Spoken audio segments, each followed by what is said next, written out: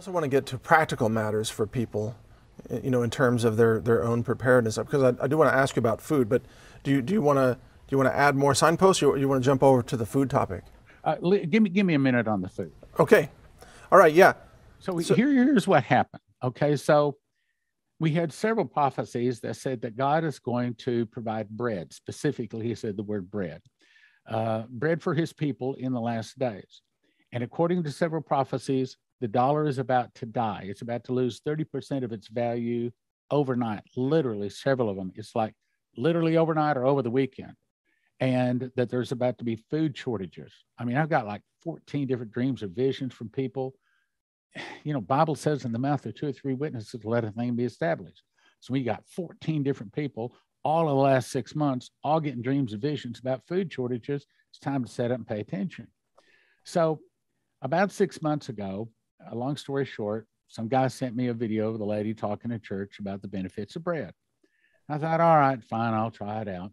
So I ordered a little wheat grinder and I started grinding my own wheat berries. They don't call them seeds, they call them wheat berries into flour and making my own bread. Well, I'm shocked to discover that I'm 68 years old had never tasted real homemade whole wheat bread. it's a world of difference, is it? Yes. It's very, yeah, it's also very good for you. Like, for example, I play racquetball two or three times a week. As a matter of fact, I'm going to be playing racquetball here in the next hour today. And I, when I was running out to play racquetball one day, I grabbed one of these slices of bread. I ate it on the way. Man, I ran like the wind. I mean, here's an old man that's keeping up with the young guys. And even though they turn to me and says, man, you've been running like the wind today. Where'd you get all this energy? Well, it was from bread. Bread is chock full of actual energy. Now, here's the thing what we discovered uh, about 12 weeks ago, we started a new company, for profit company called Joseph's Kitchen. I think God had us start it primarily as a way to provide food for his Christian believers in the last days. So, what Joseph Kitchen is about is showing people how to take wheat berries, grind them into flour, 30 seconds it takes, push the button 30 seconds, put it into a bread maker, push a button. Two hours, 20 minutes later, you have a nice, hot, steaming, wonderful tasting, very nutritious loaf of whole wheat bread. And here's the problem most of the people selling freeze dried food, I'm not trying to knock them, or uh, long term storage foods, emergency food, all of that is about $10,000 to feed one person for one year. Did you get that? Ten that nine or ten thousand dollars, one person, one year.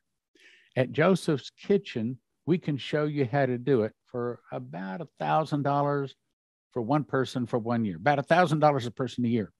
You remember in the days of Pharaoh and Joseph, there was seven years of plenty, followed by seven years of famine. Well, perhaps on another program I can explain, but we believe the prophecies say that the famine started September the 6th of 2021. We are now in seven years of famine. Well, what was it that fed Joseph and the Pharaoh and the other people during the seven years of famine. It wasn't corn, it wasn't rice, it wasn't beans. It was wheat.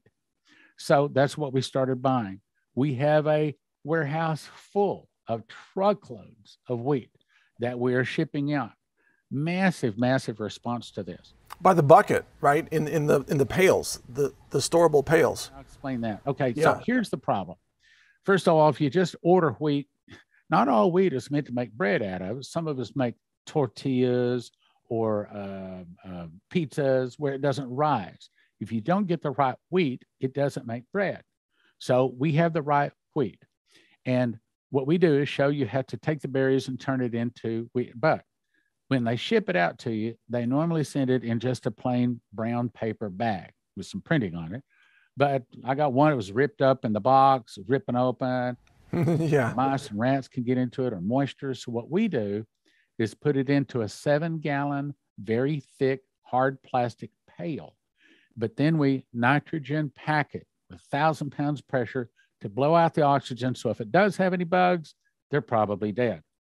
Put a lid on it, and then we ship that out. Now, what you do is you go to josephskitchen.com. I'll say it again josephskitchen.com. You have to get a machines package because that's the mechanical part you'll need to make wheat. You need a grinder and you need a bread machine. Right. So yeah. So the the the mill You put the wheat in the meal, push a button, 30 seconds later, you have wheat.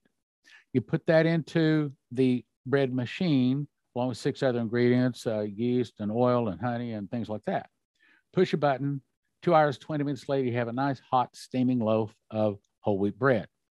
Now, you have to have the machines packaged. That's like $550. Then you decide how much food you want. You want food for six people for one year, four people one year, two people one year, one person one year. You click on that and you order how much food you want. And then the food comes. So the wheat berries in that pail, we estimate, should last at least 25 years. Some people, I mean, they pulled it out of the pyramids and 3,000 years old and still grew. So as long as it's still in a wheat berry, it doesn't need refrigeration. So it'll keep. Now, some of the other things like olive oil, honey, they don't keep as long. So some of it, and we we said as best we can. So anyway, you order that, and like for example, if you order a six for one, that's less than thousand dollars a person. A two for one is eh, about about a thousand dollars a person for a year. You take one three pound loaf, cut it into 14 slices, and I dis- discovered discovered that a slice in the morning, a slice in the afternoon, and I'm satisfied. I can eat three slices, but I don't have to. But if I eat four slices, then it gives me so much energy. I find it difficult to go to sleep before 12:30. well, l- let me just add for people listening that when you and I are talking about this bread, and I do this too. I, I, I've done this for, for a couple of decades, and the bread that we are talking about is dense. It's it's it's heavy, but it's also delicious. By the way, I find it really delicious. But the, the bread you get at the store is just fluffed air, for the most part. Right. Yeah. It, it's it's it's the difference between eating a real egg versus meringue. If you can try to imagine living off of meringue, in other words, yeah, good point. Right. That's what you're doing. You're trying to live off of the white of the wheat. yeah. So the very best part of the wheat, the germ and the end and the, uh, the the the outside, that's thrown away, or actually fed to pigs. So the Yeah. pigs get the food. Yeah, yeah, exactly. but you're right, and, and you can put all kinds of nuts or, or seeds or, like you said, honey. Uh, I've known I've I've used palm sugar in some of the recipes before because that's really good. And you're right. So if if people go out and buy wheat flour, that flour may only be good for six months. But if you buy wheat berries, because the berries are intact and they are designed to hold a long time, that's the way God designed wheat berries to last years. Uh, that, that can last, like you said, 10, 20 years is not unreasonable at all. You just got to keep it in a relatively cool place. I mean, don't, don't make it hot, you know. don't put it in your attic. Yeah, exactly.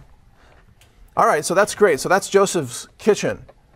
And, and that's, that's your company and it's relatively new. Well, actually, uh, my daughter owns Joseph's Kitchen. Oh, okay, okay. Say she is doing a much better job at it than I could because I'm doing probably, you know, I'm the prophecy guy. So I do prophecy. She Yeah. does Joseph Kitchen. But I will say this that the orders are absolutely going through the roof. We've had to hire nine people in the last 12. It's only been going 12 weeks. Oh, my. We've had to nine people. We've got truckloads of wheat. I mean, we have a truckload of wheat arriving every few days. Yeah. It's a truckload? Okay, there's 50 bags to a pallet, 17 pallets to a truckload, 840 bags. By the way, we don't even order it in bags anymore. Now they bring it to us in totes. Totes. Yeah. I know what those are. We do that now. We have these giant crates that we send send out to the farmers. We got two two fans uh, farmers out in Kansas, Yeah. from Kansas, that's supplying it to us. Yeah. Send it back in 2,500 pound crates of wheat at a time, and then we pour that into the the buckets.